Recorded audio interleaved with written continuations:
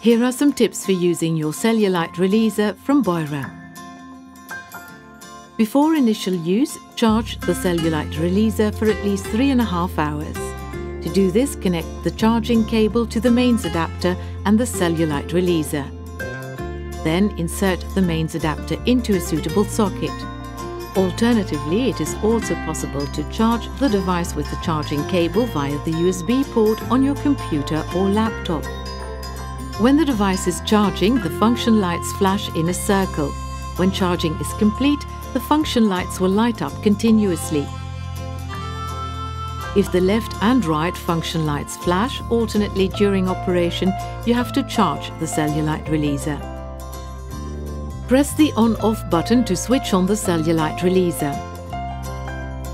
The function light lights up blue and the first vibration setting is activated. You can access a total of four vibration settings by pressing the button. Pressing the button a fifth time switches the device off and the function light fades.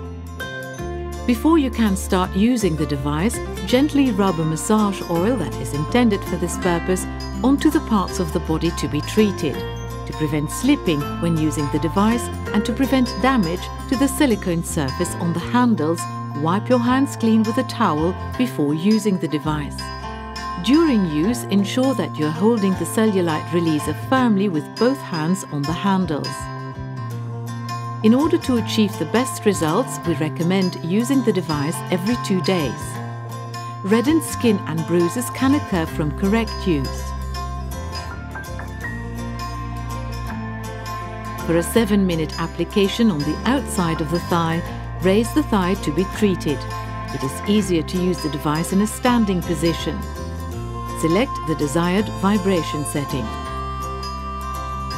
In the first treatment phase, Treat the outside of the thigh with the nub side using small, fast circular movements and moderate pressure for approximately 3 minutes.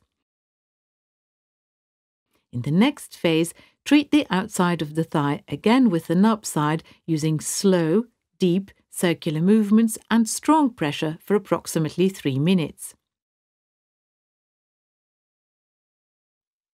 In the third treatment phase, the drainage phase, Glide the device towards the center of the body using the colored edge and strong pressure.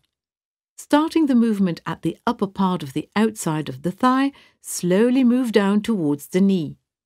Carry out this process five times, moving down the outside of the thigh until you reach the knee area. At the end, move the device over the tissue of the entire outside of the thigh once. For the 7-minute application, this process and the three treatment phases should be repeated on the rear of the thigh, as well as every additional application area.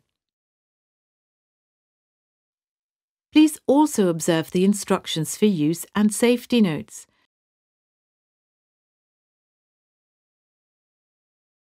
We hope you enjoy using your cellulite releaser from Beurer. Stay healthy.